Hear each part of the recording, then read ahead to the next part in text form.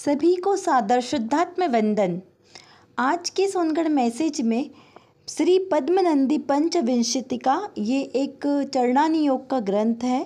इसमें दानोपदेश के प्रकरण की थर्टी फोर, थर्टी फाइव गाथा का सार रूप में यहाँ पर मैसेज में दिया गया है। इसे समझते हैं। मैसेज है, योग्य संपदा के होने पर भी तथा मुनि के घर आने पर भी जिस मनुष्य की बुद्धि दान देने में उत्साहित नहीं होती, अर्थात जो दान देना नहीं चाहता, वह मूर्ख पुरुष खदान में मिले हुए अमूल्य रत्नों को छोड़कर व्यर्थ पाताल की भूमि को खोदता है।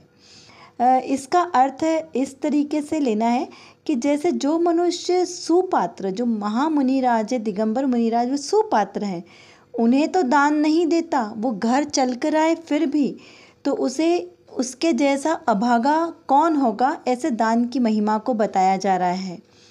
आगे लिखा है, जो मनुष्य चिरकाल में समुद्र में पड़ी हुई मणि के समान, इस संसार में उत्तम मनुष्यत्व, धन और जिनेन्द्र भगवान की आज्ञा को प्राप्त कर भी उत्तम आदि पात्र को दान नहीं देता, वह मूर्ख मनुष्य टूटी फूटी नाव पर चढ़कर बहुत से रत्नों को साथ में लेकर दूसरे द्वीप में जाने के लिए समुद्र में प्रवेश करता है। ऐसा समझना चाहिए कि जैसे मनुष्य जन्म मिला, जिनवाणी का संयोग मिला, जैन धर्म मिला, फिर भी यदि कोई पुरुषार्थी होकर और धर्म को ग्रहण नहीं करे तो उसके जैसा अभागा कौन है?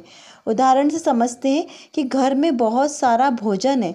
उसके बाद भी यदि कोई बाहर जाकर भीख मांगे या भूखा रहे तो उसके जैसा मूर्ख पुरुष कौन होगा? ऐसा यहाँ पर बता रहे हैं कि जिनेन्द्र देव का जो जिन शासन मिला है, वो चिंतामणि रत्न के समान है। लेकिन फिर भी मनुष्य वो इस अमूल्य जिन तत्व को नहीं समझकर और अपना समय व्यर्थ में बाहर के क्रियाकलापों में व्यर्थ गवाता है, इस प्रकार सच्चे देवशास्त्र गुरु को नहीं पहचानता, सुपात्र को नहीं जानता, क्योंकि सुपात्र दान का फल स्वर्गाधिक गतियों का कारण है, अभ्युदय सुख का कारण है। सुपात्र के दान के फल में नियम से स्वर्गाधिक ही गतियाँ प्राप्त होती कभी कुमरण नहीं होता। फिर भी वो ऐसे सुपात्र दान के फल को नहीं समझता है। आज की रत्न कणिका में श्री छड़ाला जी की चौथी ढाल का सारांश लिया है। बहुत ही सुंदर छड़ाला जी ग्रंथ है जिसे जैनागम की कुंजी भी कहा है।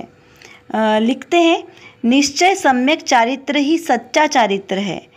ऐसी श्रद्धा करना तथा उस भूमिका में जो श्रावक और मुनिव्रत के विकल्प उठते हैं, वह सच्चा चारित्र नहीं है।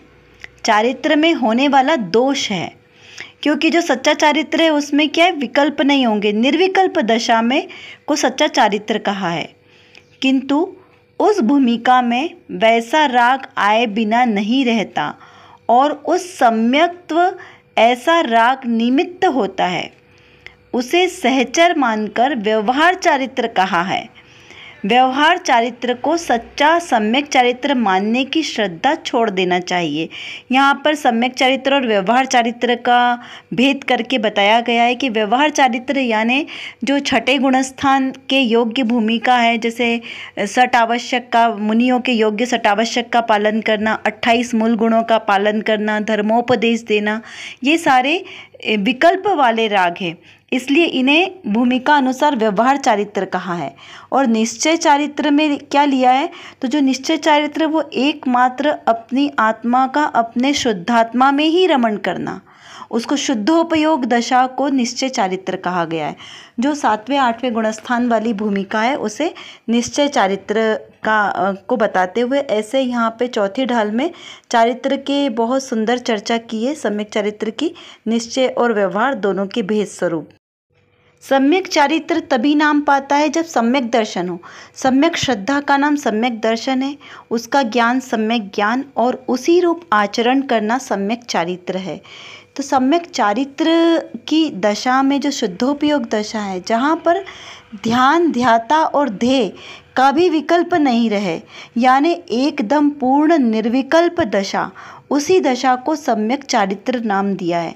जैसे अभी मैंने बताया, व्यवहार चारित्र और सम्यक चारित्र इस प्रकार, व्यवहार और निश्चय इस प्रकार दो का भेद करते हुए यहाँ पे चर्चा कही है। यह भेद मात्र ज्ञान में जानने के लिए है। जो चारित्र आत्मा में लीनता होगी, जब लीनता में भेद नहीं होगा। क्योंकि भेद आएगा तो वो विकल्प हो जाएगा। इसलिए निर्विकल्प दशा में जो शुद्ध आत्मा की ही परिणति चल रही है, आत्मोन्मुखी दशा, उसका नाम सम्यक चारित्र है। आत्मा में ही लीनता, आत्मा में ही ज्ञान, आत्मा में ही रमणता, उसे कहा है सम्यक चारित्र। इसी के विपरीत देखें तो कुपात्र दान दुर्गति का कारण है। जैसे कुभोग भूमि के जीवों में उत्पन्न होना, इस प्रकार करुणा दान का कोई फल नहीं है। इसके लिए बहुत अच्छा एक उदाहरण आता है कुपात्र दान यानी शव को श्रृंगार करना, शव को मंडाने की तरह है। शव को कितना भी श्रृंगारित करो, उसका कोई फल नहीं मिलने वाला। उसी तरीके से यह कुपात्र दान है, जो दुर्गति का कारण है। इस प्रकार कुपात्र दान करने से बचना चाहिए और हमेशा सुपात्र दान करने की ही प्रेरणा लेनी चाहिए। आज की इन संदेशों में से आए हुए कुछ प्रश्नों का आप आंसर खोजने का प्रयास करें, कितना आपको समझ में आया? जितना समझ में आया, उतना आप कमेंट बॉक्स में लिख कर बताएँ, यदि नहीं आया है तो आप हमसे फिर से प्रश्न कर सकते हैं। हम आपको समाधान करने की कोशिश करेंगे। और इसी तरह आप अपने अंतर में सम्यक दर्शन, सम्यक ज्ञान, सम्यक चारित्र की प्राप्ति करें। अंतर में सम्यक चारित्र को धारण करने की योग्यता लाएँ, भूमिका बनाएँ, उसी के रूप आचरण करें, ऐसी पवित्र भावना के साथ। आप सभी को सादर जय जिनेन्द्र।